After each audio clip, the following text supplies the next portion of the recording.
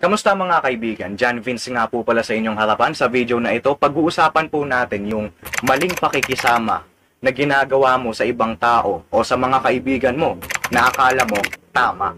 Ito yung mga pakikisama na ginagawa mo sa ibang tao na merong hindi magandang dating sa kanila. Hindi lang nila sinasabi dahil ayaw nilang masaktan ka o ma-offend ka bilang pakikisama nila sa'yo. Maganda tong video na ito para sa mga taong gusto nilang mag-improve yung pakikisama nila sa ibang tao. Okay, simulan na natin. Mga maling pakikisama na ginagawa mo sa ibang tao o sa mga kaibigan mo na akala mo tama. Handa ka na ba?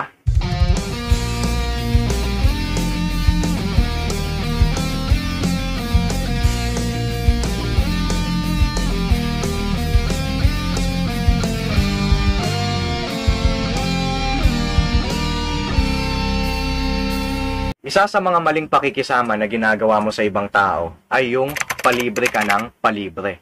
Manlibre ka naman, laki-laki ng sinasahod mo, ayaw mo man lang ibahagi yan, ayaw mo man lang manlibre. Tara na, kahit dyan lang, ubusin natin pera mo. Alam nyo, okay lang naman na magpalibre tayo sa ibang tao, bilang biro o bilang pakikisama sa kanila. Pero kung seryoso ka talaga, na ikaw yung gusto mo na laging nililibre, yung tipong kahit sinong kaibigan mo, nalapitan mo, gusto mo na ikaw yung laging nililibre, palibre ka ng palibre, mga pagkain o ibang bagay, hindi na maganda yon. May mga taong naiinis sa'yo. May mga taong hindi na maganda yung tingin nila sa'yo. Hindi lang nila sinasabi dahil ayaw nilang masaktan ka. At ang nakakahiya pa nito ay yung kapag nagpapalibre ka ng pagkain, gusto mong ilibre sa'yo ay yung pinakamahal na pagkain. So hindi na maganda yon. Kahit pa close na close mo yung kaibigan mo, hindi mo dapat ginagawa yan. Alam nyo, ang pinakamagandang pakikisama kung panlilibre ang pag-uusapan ay yung hintayin mo na yayain ka ng iba na ilibre ka. Hindi yung ikaw yung unang magyayaya na ilibre ka tapos nagpupumilit ka pa. Next na pakikisama na ginagawa mo na akala mo tama pero mali pala. Ito ay yung mahilig kang manglahat pero hindi mo naman kayang patunayan. Ang ibig kong sabihin dito ay kapag meron kang negative na nakita sa isang tao o sa isang bagay, ganun na din yung iisipin mo na negative sa mga katulad nila. Uy, anak siya ng mayaman. Ay, wala. Mapanghusga yan, mapanlait yan. Ganyan naman yung mga mayayaman eh. What? Tapos in the future, yayaman ka pala. So, yung anak mo, magiging mapanlait at magiging mapanghusga din ba? So, hindi dapat tayo nanlalahat, di ba? Kasi hindi naman natin kayang patunayan yun eh. Alam mo, sa sarili mo na hindi naman lahat ng mayayaman ganon, pero sinasabi mo pa rin kasi nga, mahilig kang manlahat. Ganon na yung nakasanayan mong ugali. So, hindi maganda yon. Uy, nanonood siya ng Lolong, nanonood siya ng Encantadia, nanonood siya ng Victor Magtanggol. Pambihira, mga tanga lang nanonood dyan. Paano masabi? Tapos mamaya may kaibigan ka palang nanonood ng mga ganong teleserye, eh di na-judge mo na kagad siya nang di mo nalalaman, di mo sinasadya kasi nga ang hilig mong manglahat, di ba? Eh di minus points ka na tuloy kaagad sa langit. Hindi naman sa langit. Wala pong points na nababawas sa langit.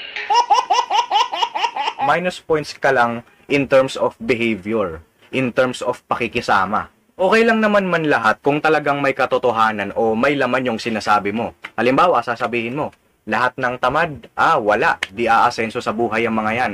Totoo naman, kasi kapag tamad ka, wala kang gagawin, hindi ka talaga aasenso sa buhay. So, pwede yun. Pero kung manlalahat ka na hindi mo naman kayang patunayan, tapos negative pa, may halong panja-judge, hindi na maganda yon. Medyo magiging mababa yung quality ng pakikisama natin sa ibang tao niyan. Next na pakikisama, na akala mo tama, pero mali pala. Ito ay yung maging paladesisyon. Maraming ganitong tao, 'di ba? Lalong-lalo na kapag close friends nila, lagi silang nagdidesisyon sa buhay ng ibang tao samantalang yung buhay nila hindi nila magawang desisyonan. Naku, wag mong jojowain 'yan. Kung ako sa iyo, eto na lang yung jowain mo. Naku, wag kang tatai diyan kung ako sa iyo, dito ka na lang tumae. Naku, wag kang mag-aalaga ng aso kasi maingay yan, tumatahol yan. Kung ako sa iyo, mag-alaga ka na lang ng kalabaw. Maraming mga taong ganyan, 'di ba? Nagdidesisyon sila sa buhay ng may buhay. Okay lang naman na magbigay tayo ng suggestion sa ibang tao, pero wag na wag tayo magtatampo once na hindi nila tayo pagbigyan sa gusto natin para sa kanila. Okay lang na magbigay tayo ng suggestion, wag lang maging pala desisyon. Lalong-lalo na kapag palagi mo yung ginagawa, palagi kang nagiging pala desisyon, hindi na desisyon yan, disease na yan. Minsan hindi ka natatawaging pala desisyon, Sa sobrang sakit mo sa ulo, tatawagin ka na nilang pala desisyon. Next na pakikisama na akala mo tama pero mali pala. Ito ay yung maging pikon. Alam naman natin 'di ba na sa mga magkakaibigan hindi maiiwasan diyan yung mag-asaran, magbiruan. 'Yon ay kasama sa pakikisama at para maging maganda yung samahan. Kaya kung yung biro nila sa'yo ay hindi naman intensyon na saktan ka at hindi naman intensyon na makaabala ng buhay mo, pag-isipan mo muna kung mapipikon ka ba o hindi. Alam ko na may mga biro talagang nakakainis, hindi maganda, nakakapikon, lalong-lalo na kapag yung biro ay about sa itsura mo, about sa mga past experience mo na gusto mo talagang kalimutan, about sa mga biro na below the belt na talaga, hindi na talaga magandang biro yon. Dapat talaga tayong mapikon. Pero kung yung biro na wala namang intensyon na saktan ka, yung para gawing good vibes lang ang lahat, hindi ka na dapat mapikon. Halimbawa lang to ah, halimbawa nag-post ka sa Facebook mo, nag-TikTok ka, sumasayaw-sayaw kang ganyan, ang ganda-ganda ng steps ng tugtog, ginagawa mong kalokohan, binabago-bago mo. So, ibig sabihin, pinapakita mo sa ibang tao na nagpapatawa ka. Eh di malamang may magko-comment, friend mo, mukha kang bulating nilagyan ng asin. Enter. Tapos mababasa mo, mapipikon ka. Grabe ka naman, eh di kayo na magaling sumayaw. Siyempre, ang iisipin ng mga makakakita, ano ba yun? Seryoso ba siya? Akala ko ba nagpapatawa lang siya? Akala ko ba good vibes lang? Bakit ganun? So, ganun, di ba? Alam nyo kasi, hindi masarap pakisamahan yung tao kung napakabilis niyang mapikon. Masarap kasing pakisamahan yung tao kapag kaya niyang sabayan yung vibes mo, lalong-lalo na kung wala namang masama sa trip mo, di ba? Kapag napakabilis mo kasing mapikon, na ipapakita mo sa ibang tao na wala ka talagang sense of humor. Next na pakikisama na akala mo tama pero mali pala. Ito ay yung pagiging tampuhin. Etong mga tampuhin, magkadikit sila ng mga taong paladesisyon. Kasi yung mga paladesisyon, nagdidesisyon sa buhay ng iba. Pero kapag hindi napagbigyan, magtatampo. 'Di ba? Magkadikit sila. Sa pagkakaibigan kasi, dapat nating maintindihan na yung buhay natin ay magkakaiba-iba. Hindi naman yung buhay natin ay umiikot sa magkakaibigan lang talaga, 'di ba?